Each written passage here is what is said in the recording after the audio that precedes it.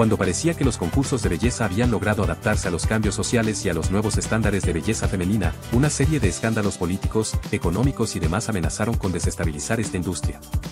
Aunque puede parecer inofensivo, la realidad es diferente. Sin embargo, ya no vivimos en una época en la que el público se queda callado y guarda su opinión. Así, en el certamen de Miss Puerto Rico, los asistentes dejaron clara su postura ante una situación polémica, abucheando y gritando en respuesta a la decisión del jurado. Todo esto debido a la no clasificación de la gran favorita para llevarse el título de belleza. Mucho antes de que las luces de la sala de festivales Antonio Paori del Centro de Bellas Artes de Santurce se encendieran para la noche final de Miss Universe Puerto Rico 2024, se sabía que la competencia sería intensa. Nada fuera de lo común, ya que cada concurso de belleza es así. Este año, había un numeroso grupo de delegadas que, según los expertos, reunían todas las cualidades necesarias para ganar el título nacional. Sin embargo, pocos esperaban lo que sucedería después. Una vez se completó el cuadro de las 15 semifinalistas, que no incluyó a Génesis Dávila, representante de Arroyo, un prolongado abucheo se apoderó del recinto sanjuanero. La multitud comenzó a gritar el nombre del municipio, reclamando por la decisión. Eso no se hace, esto fue un fraude, y ella no se merecía eso, fueron algunas de las expresiones del público, completamente sorprendido. Pero el descontento no quedó solo en el recinto, ya que se trasladó a las redes sociales, donde numerosos internautas expresaron su desacuerdo con la decisión y pidieron más justicia para futuras ediciones.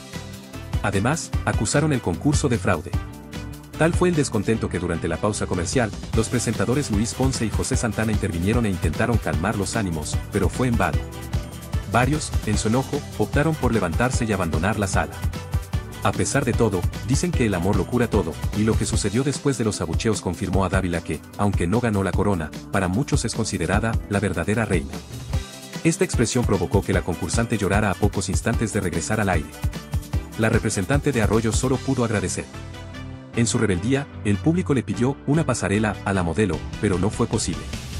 Aún así, nadie puede negar que Dávila cuenta con experiencia en el mundo de los concursos, habiendo participado en diversos certámenes de belleza.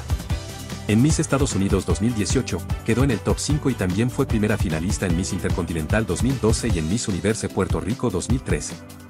La responsabilidad de elegir a la soberana que representará a Puerto Rico en el certamen internacional que se realizará en México recayó en reinas de belleza como Madison Anderson Berríos, Miss Universe Puerto Rico 2019, y Ashley Cariño, Miss Universe Puerto Rico 2022.